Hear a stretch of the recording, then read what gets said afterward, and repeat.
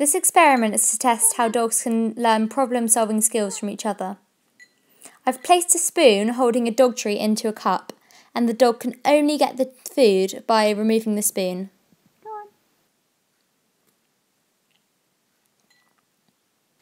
This dog has been learning this behaviour for some time, so knows how to uh, knows what to do, and she's been she's used to using her mouth frequently, so is more comfortable with this skill.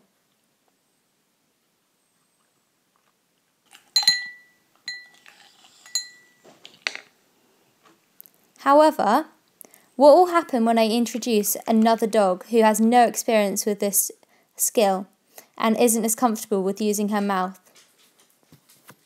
As you see, she's watching intently and trying to understand how to get the food.